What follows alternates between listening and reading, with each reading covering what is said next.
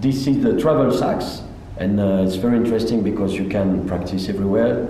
It's very light, uh, but it's not saxophone. It's uh, never you can have the same sensation, but you can practice, and you can if you have uh, uh any time to to practice, and there is a you are in the, in the airplane, during your flight, during your travel, in the car, in the train, you can practice as you want, so it's very interesting.